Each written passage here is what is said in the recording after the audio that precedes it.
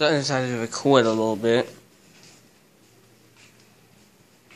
The fuck happened here?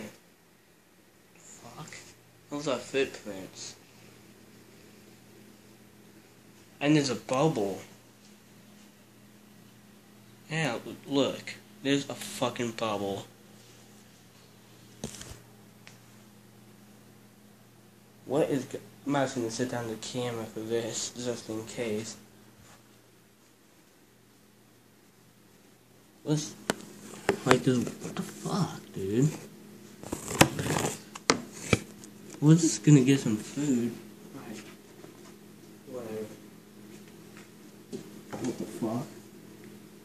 So fucking slippery. Oh! Fuck.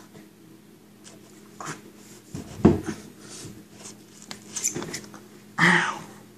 My hip. What the fuck is What is this? Is this vegetable oil? Jesus fucking. Are you kidding me with this? This is fucking stupid.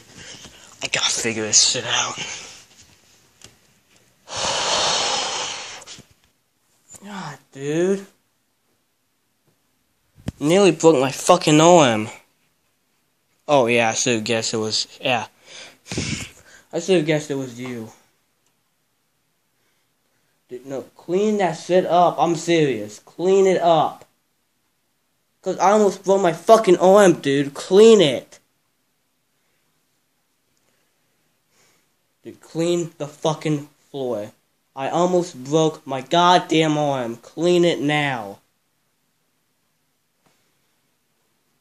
I'm about to flip out. I'm about to flip out. Clean. Dude, I'm literally being serious. Clean it up now.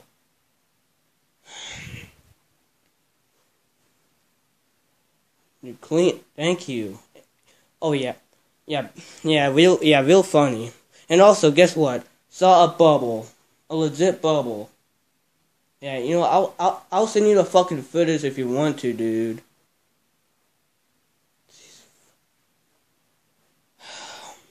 No, yeah, I will send you the footage, okay? Just clean the fucking floor before someone else falls and breaks their neck or some shit.